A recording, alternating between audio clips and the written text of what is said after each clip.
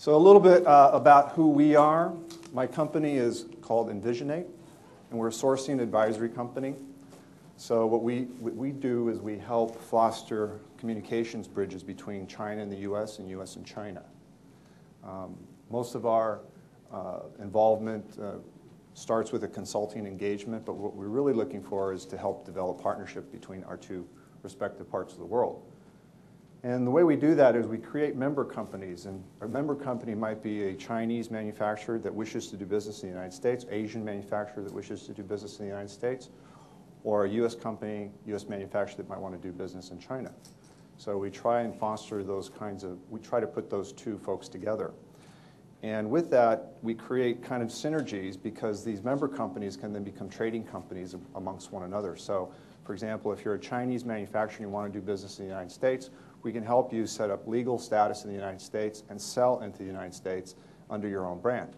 And so if we start um, creating membership of companies, then those companies can act as um, trading partners with one another. Furthermore, the exponential value is, is, is uh, generated when member companies trade with one another and when these member companies then start going after some of the same customers. So these are some of the services we provide. Uh, business development, for example, so sales. Uh, business development can mean sales, marketing, merchandising, logistics, distribution.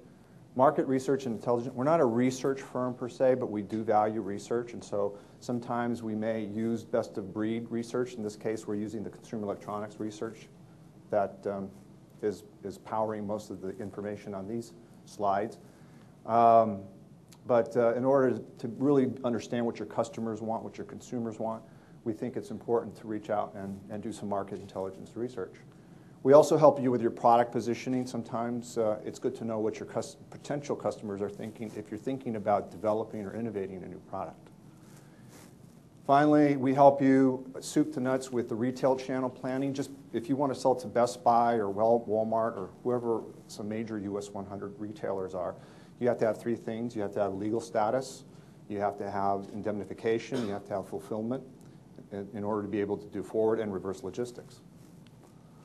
Um, logistics and distribution is, is one of the things we provide through some of our sourcing partners. Operations, customer service, intellectual property protection, risk management, human sources, restaffing. Okay, so those are just some of the things, a little plug for who we are and what we do.